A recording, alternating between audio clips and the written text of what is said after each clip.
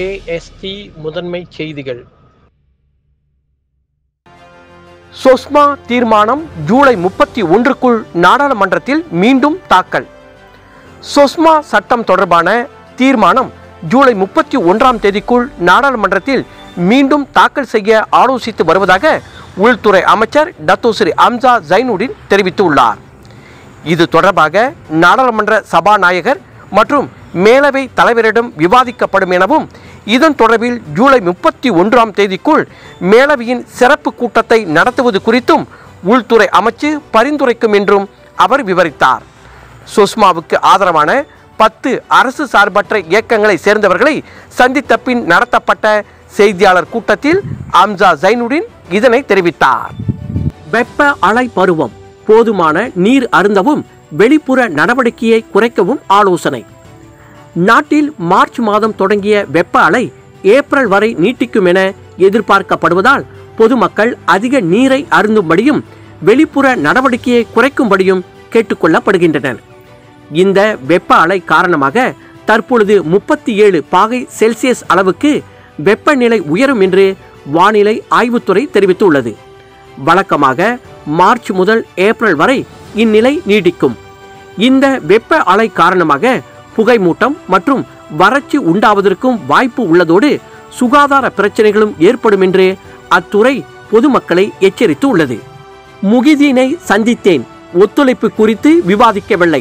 Datuk Seri Anwar. Bersatu கட்சி தலைவர் Tan Sri Muhyiddin யாசினை சந்தித்ததாகவும் ஆனால் அவர் மீண்டும் பிரதமராகுவதற்கு ஆதரவு தெரிவிப்பது மற்றும் அவருடன் ஒத்துழைப்பது குறித்து எதுவும் விவாதிக்கவில்லை என எதிர்க்கட்சி தலைவர் டத்துஸ்ரீ அன்வார் இப்ராஹிம் தெரிவித்தார். வழக்கமான ஒரு சந்திப்பாக மட்டுமே அது அமைந்தது. அதோடு எதிர்வரும் பொது தேர்தலில் பக்காத்தான் ஹராப்பான் டாக்டர் மகாதிருடன் ஒத்துழைக்குமா என்று வினவப்பட்ட போது அது குறித்து இன்னும் விவாதிக்கப்படவில்லை என்றும் அன்வார் மறுமொழி தெரிவித்தார். பன்னிரண்டு சட்டவிரோத குடியேறிகளுடன் சாலை தடுப்பில் தப்பியோடிய வாகன ஓட்டுநர் கைது. மியான்மர் நாட்டைச் சேர்ந்த சட்டவிரோத குடியேறிகளை ஏற்றிக்கொண்டு போலீஸ் தடுப்பு சோதனையில் நிற்காமல் தப்பிச் சென்ற எம்பிவி வாகனத்தின் டயர்களை சுட்ட பின்னர் அதன் ஓட்டுநரை போலீசார் கைது செய்தனர். கிழக்கு கரை நெடுஞ்சாலையில் நிகழ்ந்த இந்த சம்பவம் குறித்த காணொளி சமூக வலைதளத்தில் பகிரப்பட்டது. முப்பத்தி மூன்று வயதுடைய ஆடவர் ஓட்டிச் சென்ற எம்பிவி வாகனத்தின் டயர்களில் ஐந்து முறை சுட்டதாக பகாங் போலீஸ் தலைவர் டத்து ரம்லி முகமட் யூசுப் தெரிவித்தார்.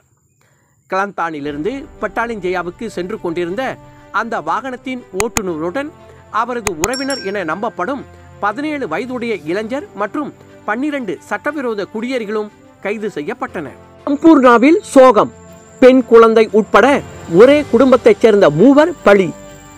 செம்பூர்ணா ஜலான் தகாசான் பனிரெண்டாவது கிலோமீட்டர் பகுதியில் நிகழ்ந்த இருபது டன் கனரக வாகனம் இரு கார்கள் சம்பந்தப்பட்ட விபத்தில் ஒரு பெண் குழந்தை உட்பட ஒரே குடும்பத்தைச் சேர்ந்த மூன்று பேர் இறந்ததாக செம்பூர்ணா மாவட்ட போலீஸ் தலைவர் ஃபர்ஹான் லீ அப்துல்லா தெரிவித்தார். கம்போங் லீஹாக்கில் இருந்து கம்போங் சலிபாங்குன் நோக்கி சென்ற மகிழுந்தை ஓட்டிய முப்பது வயது ஆடவர் அவரின் மனைவி அவர்களின் பத்து மாத பெண் குழந்தை ஆகிய மூவரே இவ்விபத்தில் இறந்தனர். இவர்கள் பயணம் செய்த வாகனத்தை இன்னொரு வாகனம் மோதியதான் எதிர் திசையில் வந்த கனரக லோரியுடன் மோதி நசுங்கியது. விளையாட்டு பொழுதுபோக்கு நடவடிக்கைகளுக்கு மேலும் தளர்வு. ஏப்ரல் ஒன்று முதல் நாடு குறுந்தொற்று காலத்தை எட்டியுள்ள நிலையில் விளையாட்டு மற்றும் பொழுதுபோக்கு நடவடிக்கையை எந்த கட்டுப்பாடும் இல்லாமல் மேற்கொள்ள அனுமதிக்கப்பட்டுள்ளது. அதேவேளை சுகாதார அமைச்சு மற்றும் தேசிய பாதுகாப்பு மன்றம் வகுத்துள்ள எஸ்ஓபி விதிமுறையை பின்பற்றி அனைத்து நடவடிக்கைகளும் மேற்கொள்ளப்படுவதை இளைஞர் மற்றும் விளையாட்டுத்துறை உறுதி செய்யும் என்று அதன் அமைச்சர் டத்தோஸ்ரீ அகமது பைசால் அசுமு தெரிவித்தார். பொழுதுபோக்கு மற்றும் விளையாட்டு நிகழ்ச்சிகளுடன் போட்டி நிகழ்ச்சிகளுக்கு அனுமதி குழு நடவடிக்கைகளில் பங்கேற்பவர்களின் எண்ணிக்கையில் வரம்பின்மை ஆகியவை புதிய தளர்வுகளில் அடங்கும் என்று பைசால் அசுமு தெரிவித்தார்.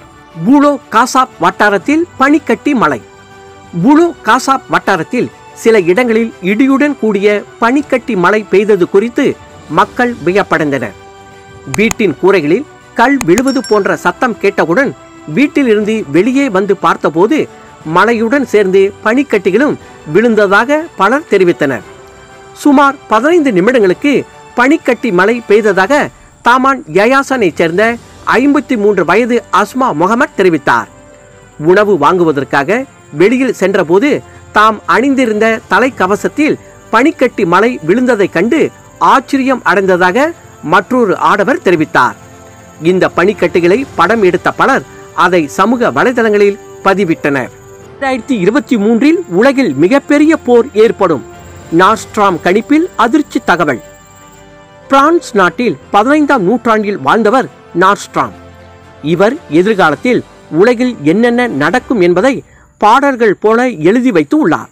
சித்தர்கள் பேசும் பரிபாசை போன்று அந்த பாடல் வரிகள் உள்ளன.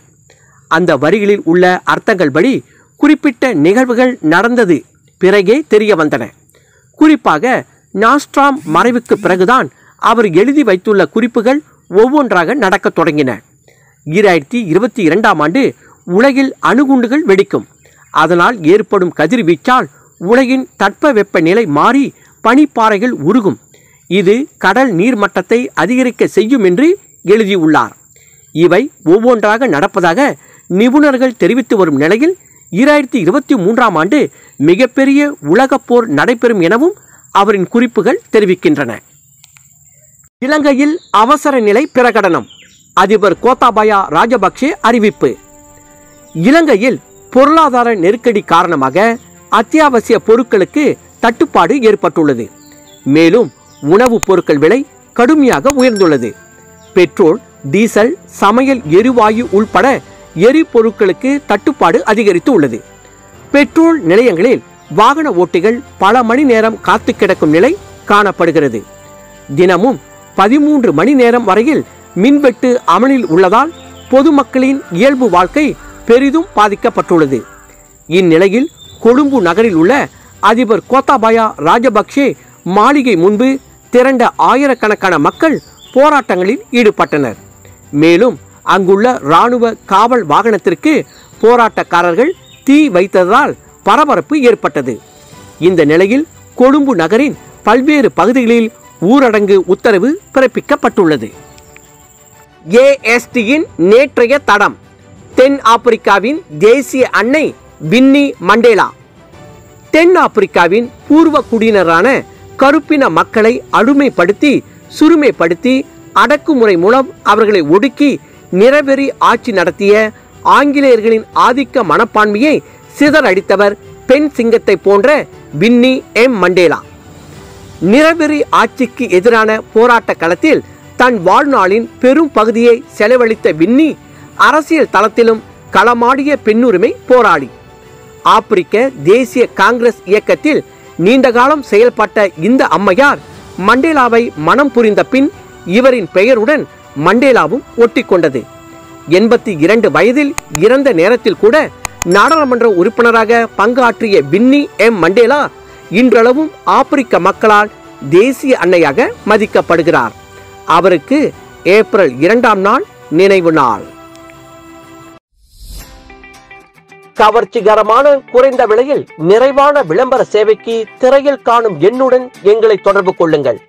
எங்கள் யூடியூப் அலைவரிசையை சப்ஸ்கிரைப் செய்து பெல் பொத்தனை அழுத்தி செய்திகளை உடனுக்குடன் தெரிந்து கொள்ளுங்கள்.